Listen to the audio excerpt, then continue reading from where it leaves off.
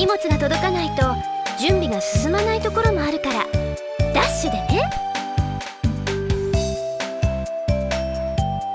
終わったら一応報告に来てね。分かった。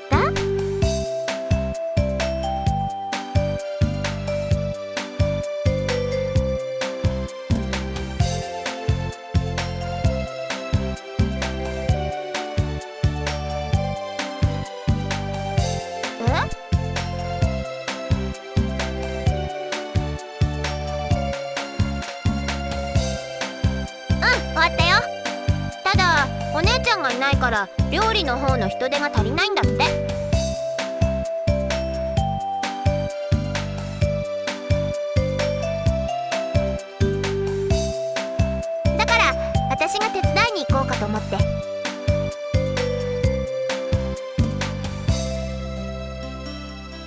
そそんな風に言わなくてもいいじゃない。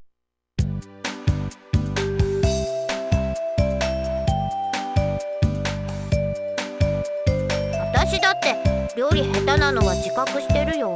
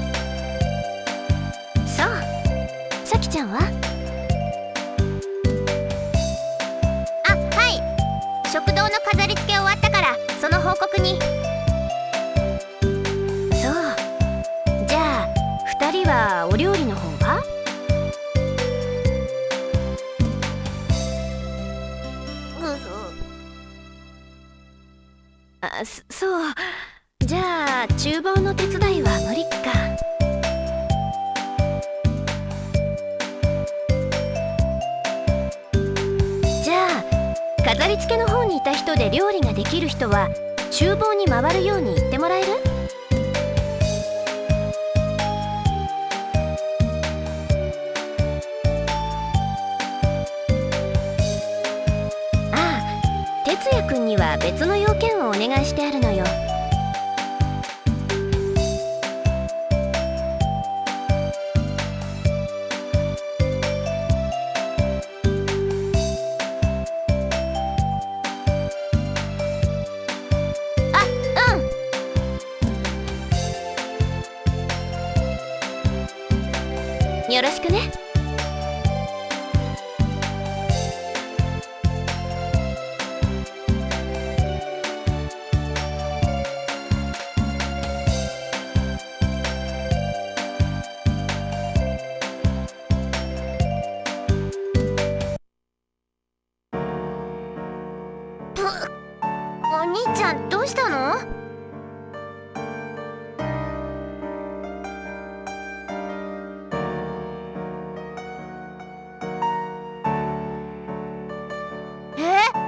嘘あ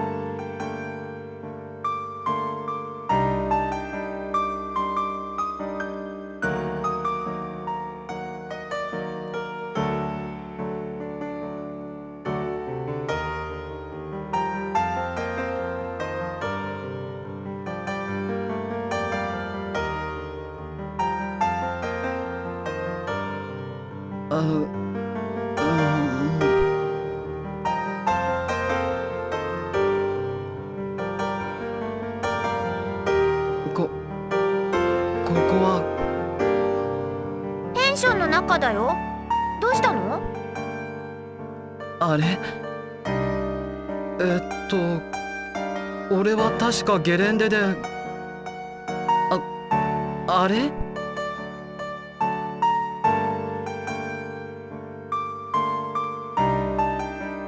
ななんで俺はこんなところに？聞いてるのはこっちなんだけど。いや覚えていないんださっきまでゲレンデにいたはずなのに。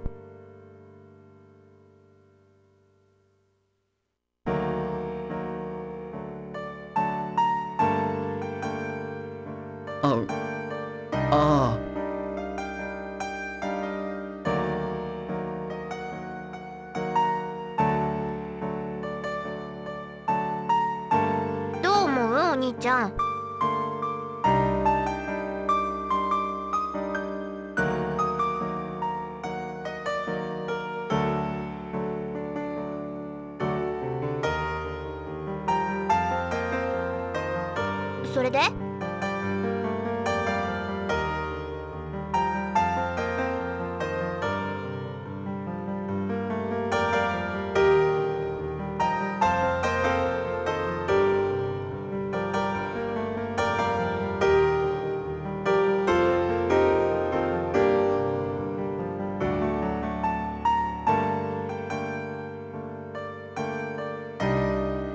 あ私？昔のことちょっとだけ思い出したよ。午前中神社に行った時にだいぶ曖昧だけど確か家族全員で来た旅行だよ。お母さんのいなくなった旅行。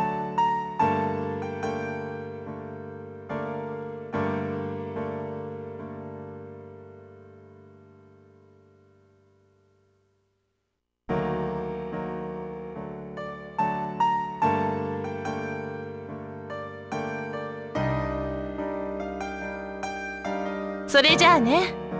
先のことよろしくね。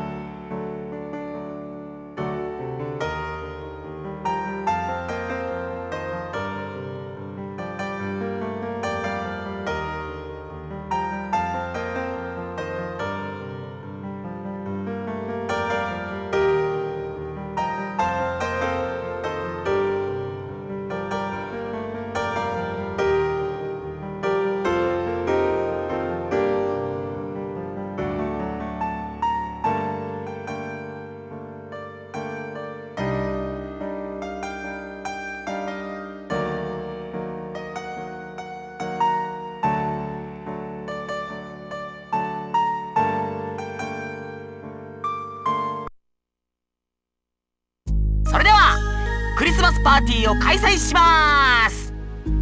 皆さんグラスの準備はよろしいですか？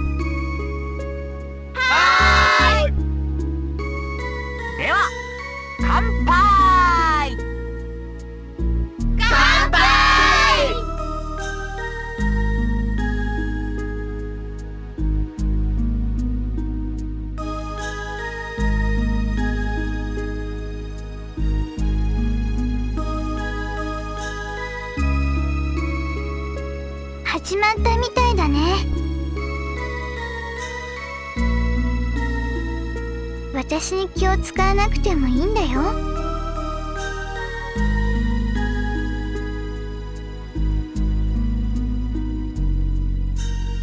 ちょっと無理かもね。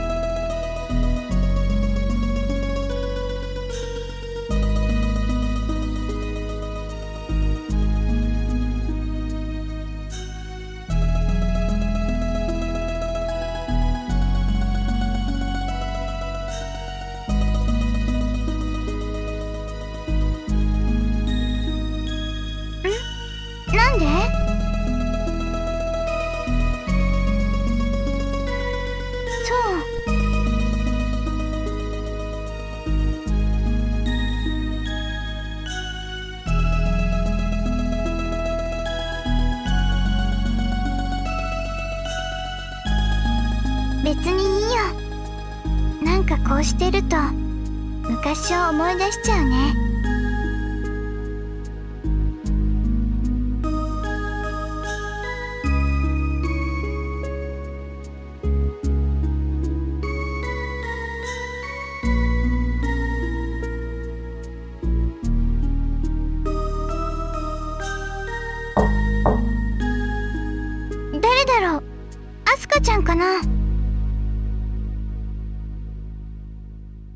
아.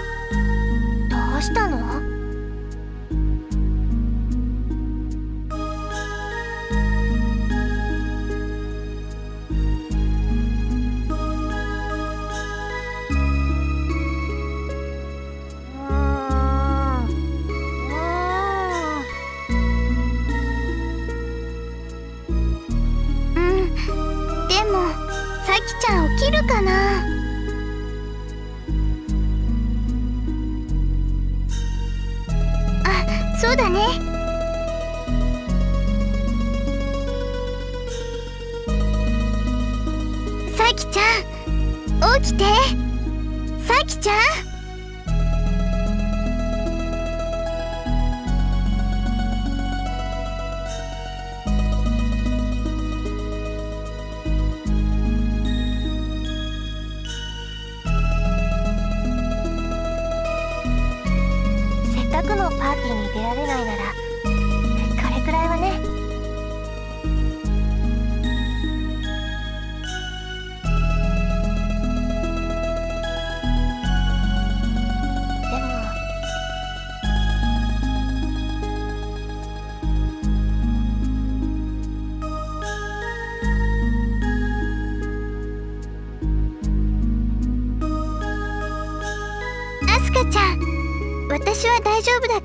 しないで。それより美味しそうだね。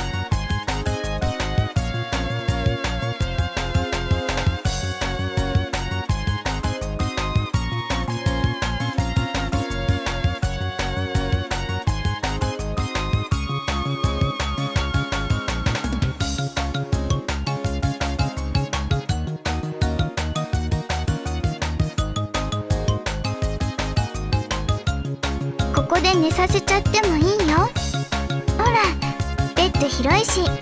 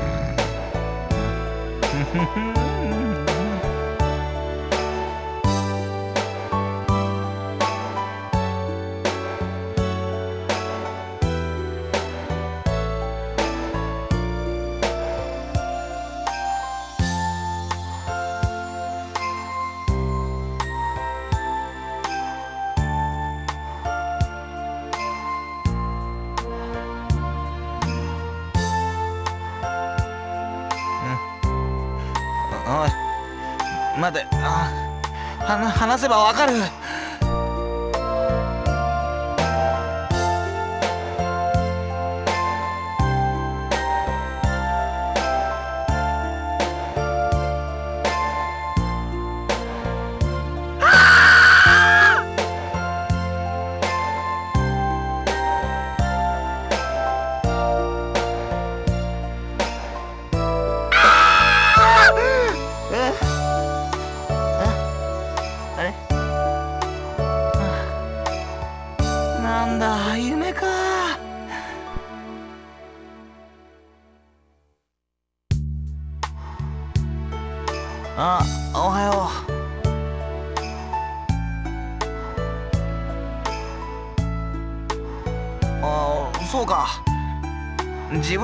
ないからなそういうの。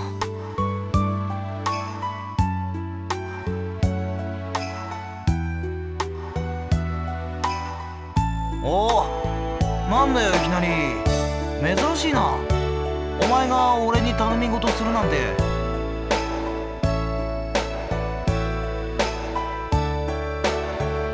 まあいいぜ。行ってみな。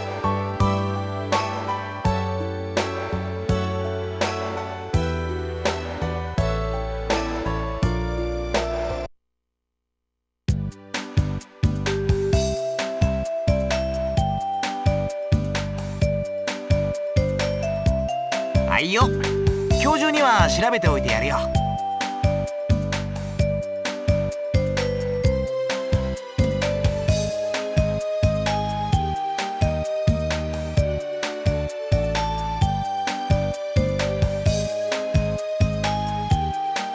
誰が？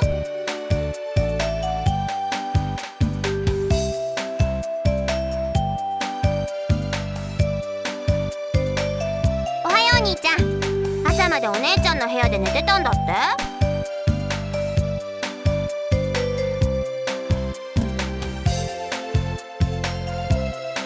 そうなの？私昨日はとってもよく眠れたんだけどお兄ちゃんが近くにいたからかな。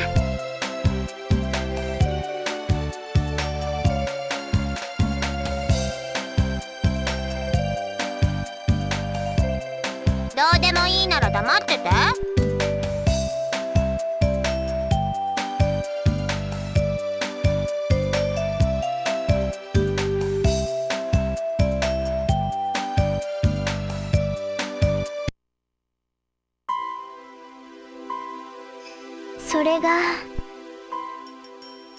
先輩。昨日から帰ってないみたい。うんそうみたい。逃げたのね。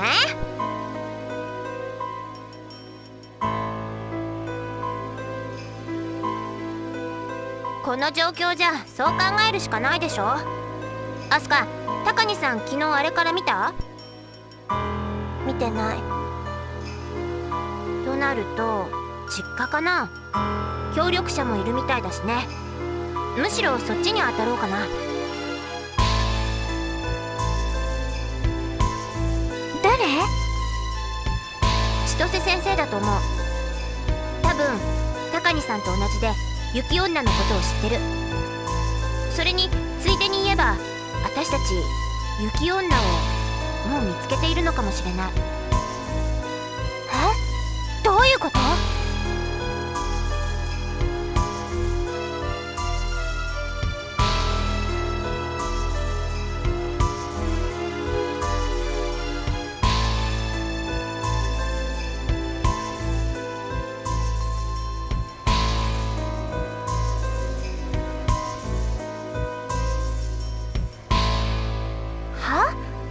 何言ってるの？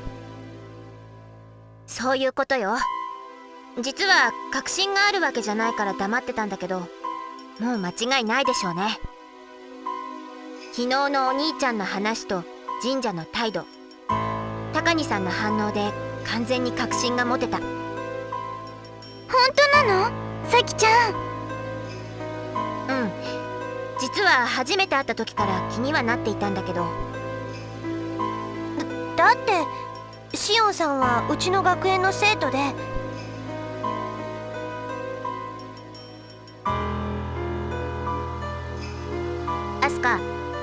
アスカは風紀委員で朝校門にいるんだよね。その時シオンさんを見たことがある？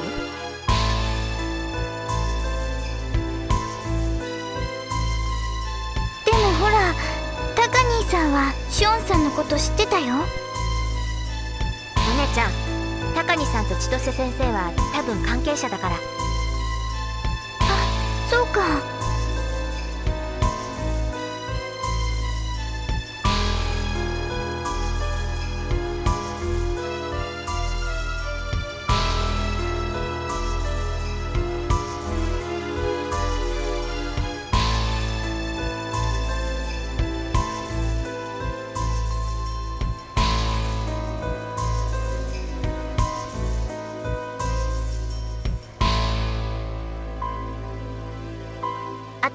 昨日の耳鳴りのことも気になったの。と言っても私とお兄ちゃんしか気がつかなかったみたいだけど。多分雪女に関係してると思う。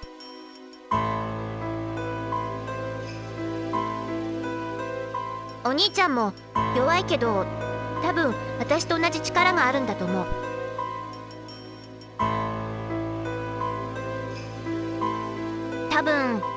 お父さんにも私にもあるんだからお兄ちゃんに遺伝してるのはむしろ当然なはずだし。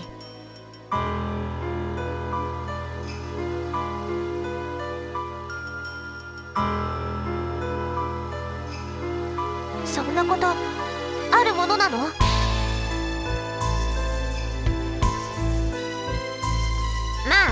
雪女が実際にいるならこの程度の力は存在していても不思議じゃないでしょ？それに高荷さん耳鳴り聞こえていたみたいだしそれに昨日の千歳先生の電話もタイミングが良すぎる。ああそう言われると。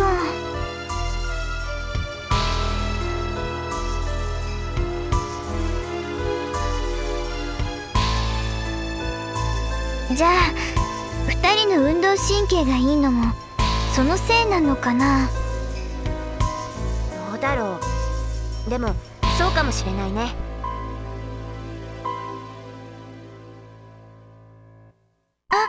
そうだね。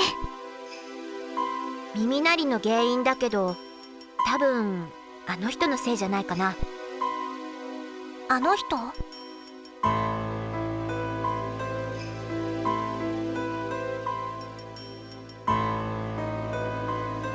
それが？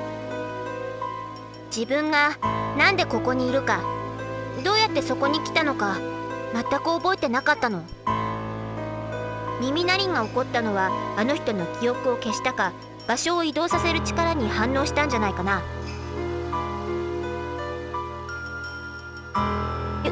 ゆ雪女はそんなことができるの？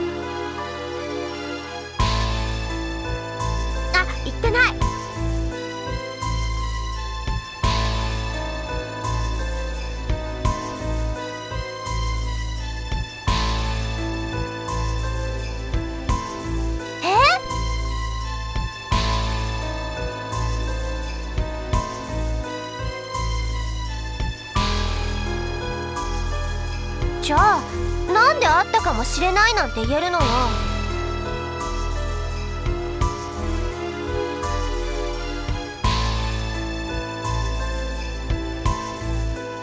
本当ですか？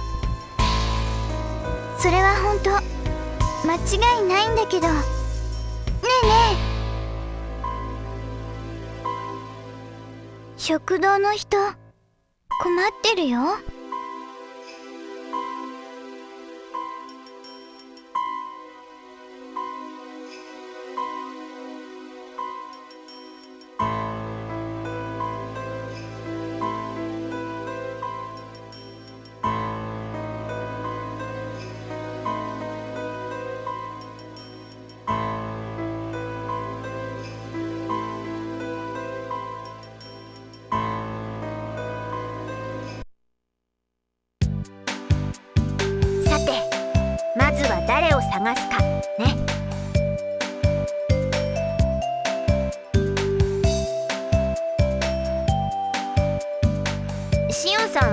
シオンさんは無理だと思う私たちが探しているということは高西さんから伝わっているだろうし。う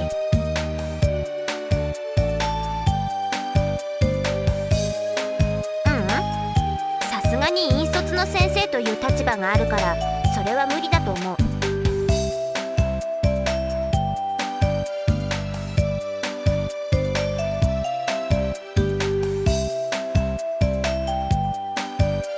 うん。